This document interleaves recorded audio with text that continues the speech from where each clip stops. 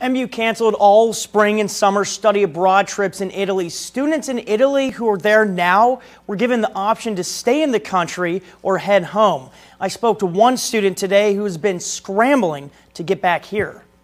A lot has changed since Alexa Leininger and other students arrived in Italy. She says it was busy and like any regular vacation. But now it's very, very silent in the streets, people wearing masks. But now she's headed back home.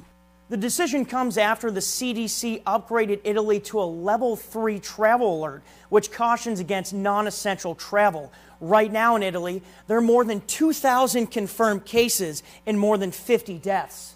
Leininger says both MU and airlines have been very helpful adjusting plans. I think all of the airlines are really supportive of students studying abroad. And they understand how we have to go through all that stuff. But she says she's not too worried about getting the virus. I don't think it's that big of a deal because, as I said, like I'm pretty healthy and I'm young. So Her biggest concern: travel restrictions. I don't want the states to be like, okay, well, we're canceling all the flights back, and then I'm actually stuck here. And an infectious disease expert from MU Health says airports will screen for the virus, but people should take extra steps when they get home. If they start having symptoms, fever, cough, and they've been to an area that, that has a high number of cases, to call student health or their regular doctor. Leininger says she hopes she doesn't get quarantined or stuck abroad.